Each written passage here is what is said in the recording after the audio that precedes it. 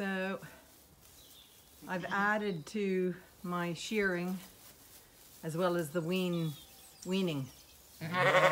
I've got three, I think, of the in lamb or the ewes that had lambs. I think I've got one left to get in.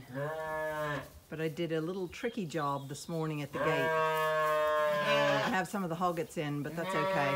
They can be shorn and they don't need special food. Isn't that right, ear feather? Hmm? Yeah, that was quite the job this morning. It was just a perfect moment. And I just shifted all the those ewes out the gates without lambs. Success! Look, they're having fights. This is re-establishing pecking orders.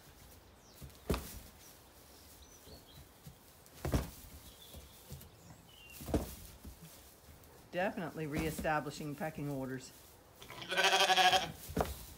Brutal.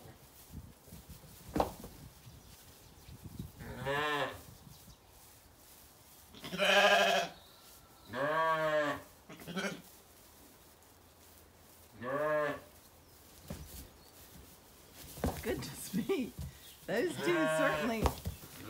This means the reason they're doing this is in pecking order parlance, these two are very close in the in the pecking order. So they're just reestablishing who is above the other. So that is some serious pecking order es- reestablishment.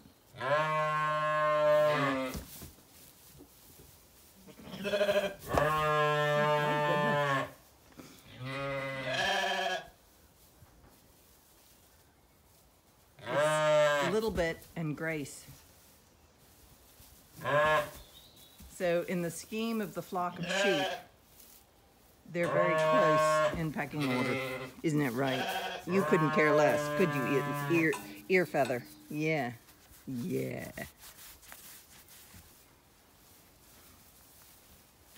Well, that fighting's going to continue on.